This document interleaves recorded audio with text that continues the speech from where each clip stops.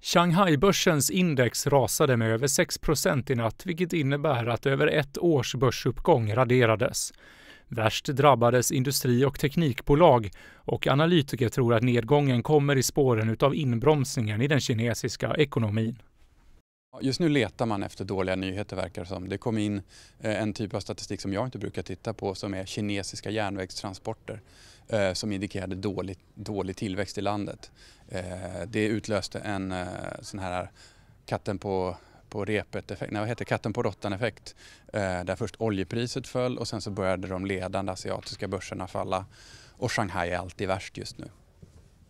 Kommer det här påverka handeln på Stockholmsbörsen någonting? Ja, det har det redan gjort. Eh, Stockholm har öppnat ner 1,4-1,5 procent ungefär eh, och det är i linje med övriga Europa. Nu är, det liksom, nu är vi tillbaka i de här dåliga eh, börstiderna som vi trodde hade vänt i fredags när vi hade en, en jublande avslutning på veckan. Vad ska man tänka på då som småsparare idag?